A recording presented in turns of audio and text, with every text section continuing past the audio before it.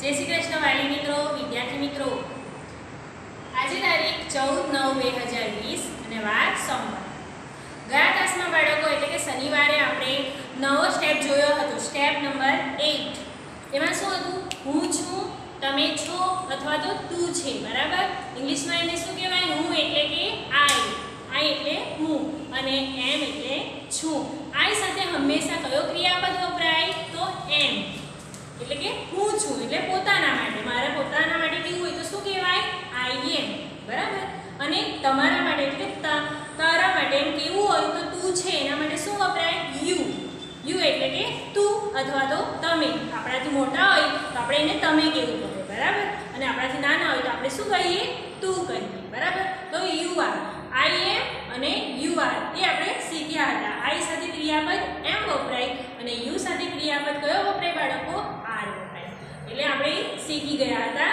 આપણે ચોપડીની અંદર જોયું હતું, આપણે આ વાક્યો પણ વાંચ્યા હતા, બરાબર ને? તો હવે આ છે બાળકો આપણે જોવાના છે નીચેના વાક્યોનું અંગ્રેજી ઉચ્ચાર અને ગુજરાતી ભાષાંતર લખવું. બરાબર?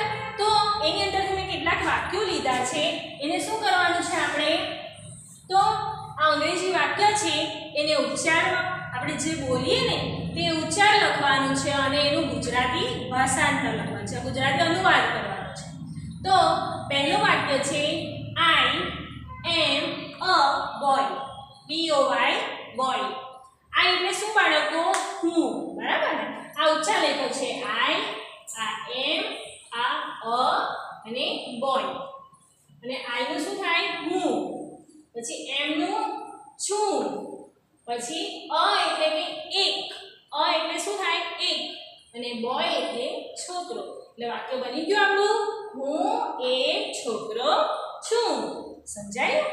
ત્યાર પછી બીજું વાક્ય છે બાળકો I am am a G I R L girl ગર્લની spelling છે ત્યાર પછી ઉચ્ચાર લખવાનું આઈ એમ અ ગર્લ આઈ નું શું થાય હું એમ નું છું અ નું એક અને ગર્લનું છોકરી. એટલે આપણું વાક્ય બની ગયું ને? હું એક છોકરી છું. સમજાયું? ત્યાર પછી ત્રીજું વાક્ય જોઈએ આપણે. આઈ એમ મોનિકા મોનિકાની સ્પેલિંગ છે એમ ઓ એન આઈ કે એ બારાક્ષરી આવડશે બાળકો તો જ તમને સ્પેલિંગ બનાવતા આવડશે અને તો જ તમે વાંચી પણ શકશો કે આ સારી સ્પેલિંગ છે. બરાબર તો ત્યાર પછી ઉચ્ચાર લખ્યો છે આઈ એમ મોનિકા આઈનું હું એમનું છું અને મોનિકા. હું મોનિકા છું. ત્યાર પછી યુ નું વાક્ય છે. Y O U. You. A I R.